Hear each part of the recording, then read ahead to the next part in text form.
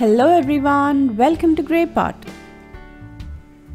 Today I'm making a very famous and all-time favorite sweet with a mango twist. So let's see how to make mango katli.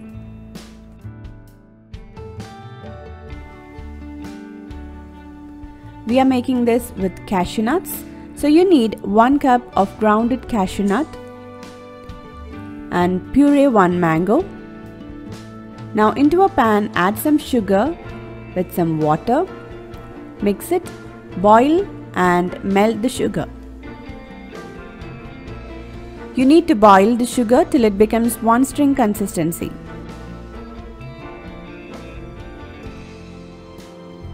Now our sugar syrup is ready. Now into that add in 1 4th cup of mango puree and the grounded cashew nut powder. Mix it and combine it well.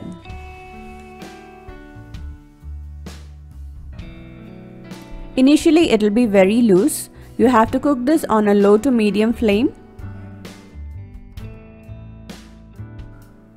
Mix it continuously as it may stick to the bottom and after 5 to 10 minutes you can see it gets really thick and it comes together as a single dough. Now turn off the flame now scrape it down to a greased parchment paper. Now knead this dough using a spatula to slightly cool it down. Now place another parchment paper on top and roll it out.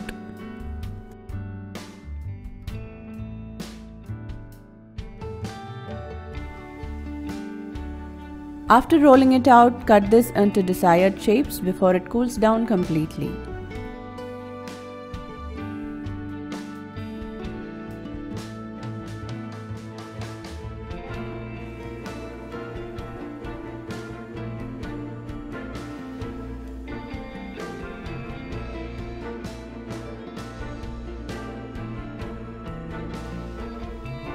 Once it cools down, you can separate it and enjoy.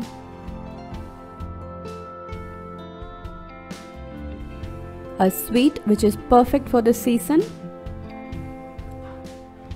Our own Kaju Katli with the twist of mango. So definitely try it out and leave your valuable comments and suggestions in the comment section below. Don't forget to hit the like button if you like this video. Follow us on Facebook, Instagram, Twitter, and Pinterest. Click the logo to subscribe to Grey Pot and watch more interesting and unique recipes from our channel. Thank you.